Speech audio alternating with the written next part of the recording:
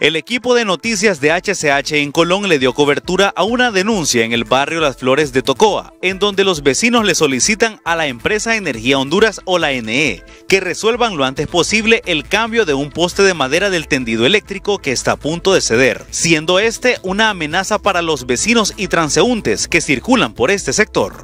Sí, hace como un mes, ¿verdad? Pasó una rastra y botó todos los cables y nosotros fuimos a denunciar y Energía Honduras dice que no es problema de ellos, sino que uno mire cómo soluciona eso, pero ese es un peligro para los niños escolares, nuestros hijos, ¿verdad? Yo tengo una niña de cuatro años y es un peligro para la gente que pasa ahí, yo tengo negocio también de comida y Solo quedan viendo ese poste porque en cualquier momento les cae encima. Sí, a mí me quemó la refrigeradora ya que me está haciendo esa pregunta, va.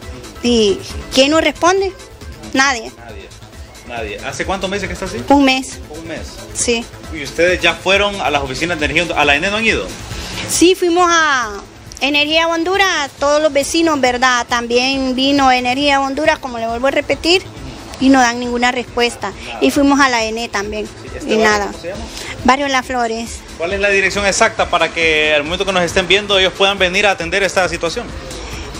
El barrio Las Flores, contigua Ferretería Enamorado, calle de la Guardiola, una calle muy reconocida porque hay una zona escolar. Desde el departamento de Colón para HCH Noticias, con la colaboración de Mario Cruz, informó Oscar López.